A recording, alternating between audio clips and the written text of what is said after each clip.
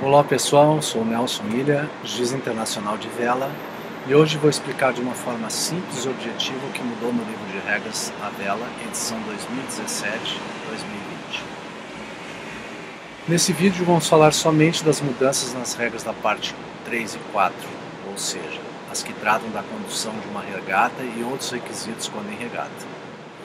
Começamos com a regra 25.3, que flexibiliza a definição de sinal visual. Na regra de chamada de volta, número 29.1, inclui a regra 30.3 no último parágrafo. Essa regra 30.3 é inserida como uma opção de bandeira de preparação e descreve procedimentos para o uso da bandeira uniforme, que já falamos no primeiro vídeo sobre o que muda em sinais de regata. Na regra 36, provas novamente disputadas, reforça as condições para que um barco seja impedido de largar novamente, que são, por infração às penalidades das regras 30.2, 30.4, 69 e 14, com dano.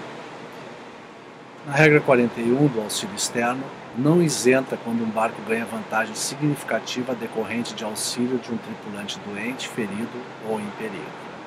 Finalmente, Nesse capítulo, a regra 55, que trata do despejo de lixo na água, sua aplicação foi ampliada para valer sempre que o barco estiver na água, mas foi flexibilizada, pois a penalidade pode ser menos do que a desclassificação. No próximo vídeo, iremos explicar o que mudou na parte 5, que trata das regras referentes a protesto, reparação, audiências, má conduta e apelações.